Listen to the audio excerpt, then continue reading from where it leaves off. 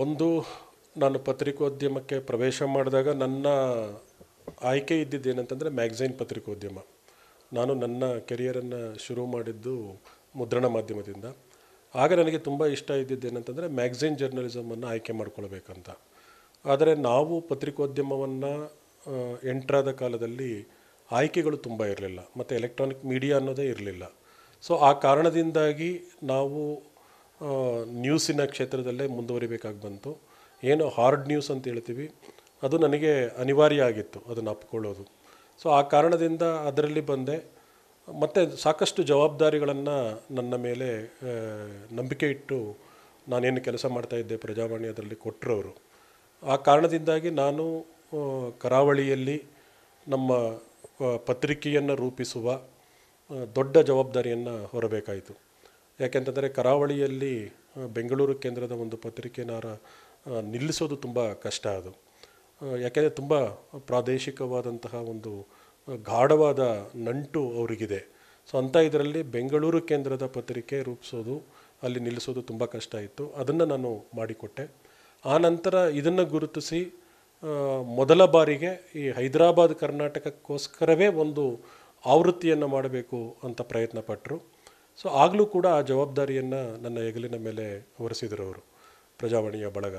So ಅದನ್ನು ಕೂಡ ನಾನು ನಾನು ಅಲ್ಲಿಗೆ ಹೋದಾಗ ಒಂದು ದಿನಪತ್ರಿಕೆ ಅನ್ನೋದು ಬೆಳಗ್ಗೆ ಚಹಾ ವೇಳೆಗೆ ಸಿಗಬೇಕು, ಸಿಗುತ್ತೆ ಅಂತೆಲ್ಲ ನಂಬ್ಕೊಂಡಿದ್ದಾರೆ. ಆದರೆ ಆ ಕಾಲದಲ್ಲಿ ಪತ್ರಿಕೆ, ಪ್ರಜಾವಾಣಿ ಅಂತ ಪತ್ರಿಕೆನೇ ಸಿಗ್ತಾ ಇದ್ದಿದ್ದು ಸಂಜೆ ನಾಲ್ಕರಿಂದ ಐದು ಗಂಟೆಗೆ, ಒಂದು ಸಂಜೆ ಪತ್ರಿಕೆ ಥರ ಬರ್ತಾ ಇತ್ತು. ಅಂಥ ಇದರೊಳಗಡೆ ಅದಕ್ಕೆ ಸಾಕಷ್ಟು ಬದಲಾವಣೆಗಳನ್ನು ಕೊಟ್ಟು ಅಲ್ಲಿಯೇ ಮುದ್ರಣದ ಒಂದು ವ್ಯವಸ್ಥೆಯನ್ನು ಮಾಡಿ ಆ ಪತ್ರಿಕೆ ನಾಗಾಲೋಟದಲ್ಲಿ ಮುಂದೆ ಹೋಗುವಂತೆ ಮಾಡುವ ಜವಾಬ್ದಾರಿ ನನಗೆ ಸಿಕ್ತು. ಬಹುಶಃ ಈ ಎರಡು ಸಕ್ಸಸ್ಗಳೇನಿತ್ತು ಅದರಿಂದಾಗಿ ನನ್ನನ್ನು ಜನ ನಾನು ಭಿನ್ನವಾದ ಆಲೋಚನೆಗಳನ್ನು ಹೊಂದಿರತಕ್ಕಂಥ ಪತ್ರಕರ್ತ ಅನ್ನೋದನ್ನೇ ನ್ಯೂಸ್ ರೂಮಲ್ಲಿ ಮರೆತು ಬಿಟ್ಟರು ಆ ಕಾರಣದಿಂದಾಗಿ ನನ್ನನ್ನು ಹಾರ್ಡ್ ನ್ಯೂಸ್ ಕಡೆಗೇ ಅದನ್ನು ಸಕ್ಸಸ್ ಮಾಡ್ತೀನಿ ಅನ್ನೋ ಕಾರಣಕ್ಕೆ ಅದರ ಮೂಲಕವೇ ನೋಡೋದಕ್ಕೆ ಇಷ್ಟಪಟ್ಟರು ನಾನು ಕೂಡ ಅಷ್ಟರೊಳಗಾಗಲೇ ನಾನು ಒಂದು ದಶಕದ ಕಾಲ ಅದರೊಳಗೆ ಇದ್ದಿದ್ದರಿಂದ ಅದರೊಳಗೇ ಮುಂದುವರೆದೆ. ಸೊ ಇ ಟಿ ವಿ ಆರಂಭ ಆದ ದಿನದಿಂದಲೂ ಕೂಡ ನಾನು ಅದರ ಜೊತೆಗಿದ್ದೀನಿ. ಬಟ್ ನನಗೇನಂತಂದರೆ ಒಂದು ಅಷ್ಟಾದರೂ ಕೂಡ ನಾನು ಸಾಹಿತ್ಯದ ನಂಟನ್ನು ಬಿಟ್ಟಿಲ್ಲ, ರಂಗಭೂಮಿಯ ನಂಟನ್ನು ಬಿಟ್ಟಿಲ್ಲ. ಯಾಕೆ ಅಂತಂದರೆ ಅದು ಕೂಡ ಇಟ್ ಈಸ್ ಒಂದು ರೀತಿ ಮಾಸನ್ನು ತಲುಪುವಂತಹ ಮೀಡಿಯಾಗಳೇ ಸೊ ಆ ಕಾರಣದಿಂದಾಗಿ ಬಹುಶಃ ನಾನು ಸಾಹಿತ್ಯ ಅಥವಾ ಮಾಧ್ಯಮ ಅಂತ ಹೇಳೋದಕ್ಕಿಂತ ಕೂಡ ಯಾವತ್ತೂ ಕೂಡ ನಾನು ಸಮೂಹದ ಜೊತೆ ಇರೋದಕ್ಕೆ ಇಷ್ಟಪಡ್ತೇನೆ. ಸೊ ಸಮೂಹದ ಜೊತೆ ಒಡನಾಟ ಮಾಡೋದಕ್ಕೆ ಇಷ್ಟಪಡ್ತೇನೆ. ಸಮೂಹದಿಂದ ಕಲೀಲಿಕ್ಕೆ ಇಷ್ಟಪಡ್ತೇನೆ. ಸೊ ಆ ಕಾರಣದಿಂದ ಸಮೂಹವನ್ನು ತಲುಪುವ ಯಾವುದರ ಜೊತೆಗೂ ನಾನಿದ್ದೇನೆ. ಅದರಲ್ಲಿ ನನಗೆ ಮಾಧ್ಯಮವೂ ಒಂದೇ, ಸಾಹಿತ್ಯವೂ ಒಂದೇ.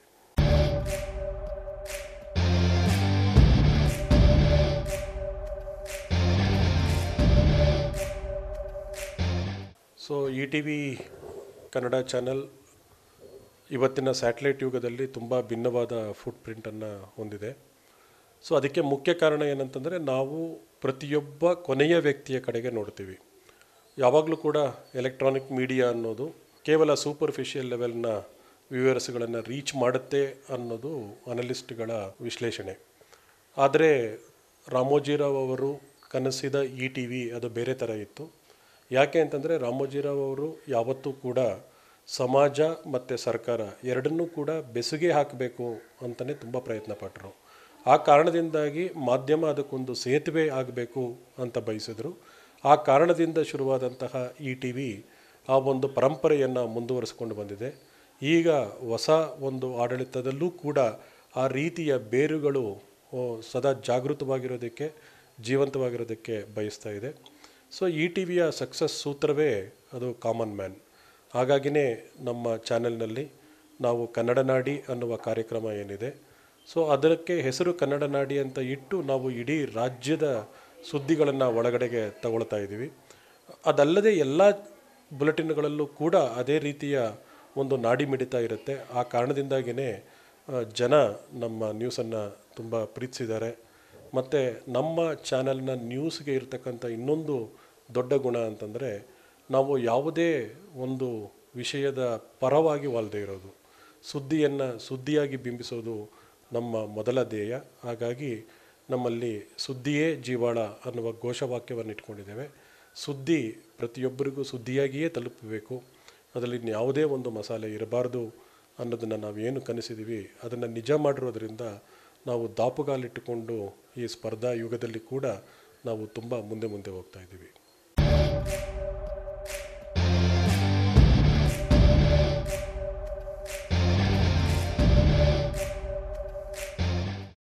ಆನ್ಲೈನ್ ಮಾಧ್ಯಮದ ಕಾಲ ಇದು. ಮುದ್ರಣ ಮಾಧ್ಯಮ, ಎಲೆಕ್ಟ್ರಾನಿಕ್ ಮಾಧ್ಯಮವನ್ನು ದಾಟಿ ಈಗ ಆನ್ಲೈನ್ ಬಂದಿದೆ.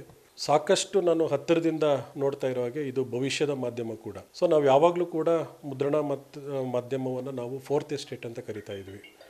ಎಲೆಕ್ಟ್ರಾನಿಕ್ ಮೀಡಿಯಾ ಬಂದಾಗಲೂ ಕೂಡ ನಾವು ಅದನ್ನು ಕೂಡ ಫೋರ್ತ್ ಎಸ್ಟೇಟ್ನ ಒಳಗಡೆನೇ ಕೂಡಿಸಿದ್ವಿ. ಆದರೆ ನನಗೆ ಅನ್ನಿಸ್ತದೆ ಏನಂತಂದರೆ, ಆನ್ಲೈನ್ ಮಾಧ್ಯಮವನ್ನು ನಾವು ಫಿಫ್ತ್ ಎಸ್ಟೇಟ್ ಅಂತ ಕರಿಬೇಕೇನೋ ಅಂತೇಳಿ. ಯಾಕೆ ಅಂತಂದರೆ ಈ ಮುದ್ರಣ ಎಲೆಕ್ಟ್ರಾನಿಕ್ ಮಾಧ್ಯಮ ಎರಡನ್ನೂ ಮೀರಿ ಬೆಳೆದು ನಿಲ್ಲುವಂಥ ಒಂದು ದೊಡ್ಡ ಶಕ್ತಿಯನ್ನು ಇದು ಹೊಂದಿದೆ. ಸೊ ಆ ಕಾರಣದಿಂದಾಗಿ ಇದು ಖಂಡಿತವಾಗಿ ಫಿಫ್ತ್ ಎಸ್ಟೇಟ್ ಆ ಫಿಫ್ತ್ ಎಸ್ಟೇಟ್ ಇನ್ನೂ ಅರಳೋದಕ್ಕೆ ಸಜ್ಜಾಗ್ತಾ ಇರುವಾಗಲೇ ಸೊ ಈ ಗ್ರಾವಿಫೈ ಮೀಡಿಯಾ ಏನಿದೆ, ಅವರು ಅದನ್ನು ಆವರಿಸ್ಕೊಳ್ಲಿಕ್ಕೆ ಸಜ್ಜಾಗಿರೋದು ನಿಜಕ್ಕೂ ಸಂತೋಷ ತಂದಿದೆ. ಯಾರೇ ಆನ್ಲೈನ್ ಮೀಡಿಯಾದಲ್ಲಿ ಕೆಲಸ ಮಾಡ್ತಾ ಇದ್ದರೆ ಅವರು ನಾಳೆಗಳ ಬಗ್ಗೆ ಸ್ಪಷ್ಟವಾದ ನೋಟವನ್ನು ಹೊಂದಿದ್ದಾರೆ ಅಂತ ನನಗನ್ನಿಸುತ್ತೆ. ಹಾಗಾಗಿ ಈ ತಂಡ ಏನಿದೆ, ಅವರು ನಮಗಿಂತ ವೇಗವಾಗಿ ನಾಳೆಗಳ ಬಗ್ಗೆ ನೋಡ್ತಾ ಇದ್ದಾರೆ. ಸೊ, ಎಲೆಕ್ಟ್ರಾನಿಕ್ ಮಾಧ್ಯಮದಲ್ಲಿ ಇರುವವನು ಈ ತಂಡ ಏನು ಆನ್ಲೈನ್ ಮೀಡಿಯಾದಲ್ಲಿ ಮಾಡುತ್ತೆ ಅನ್ನೋದರ ಬಗ್ಗೆ ತುಂಬ ಕುತೂಹಲವನ್ನು ಹೊಂದಿದ್ದೇನೆ. ಅಷ್ಟೇ ಅಲ್ಲ, ಈ ತಂಡಕ್ಕೆ ನನ್ನ ಶುಭ ಹಾರೈಕೆಗಳು.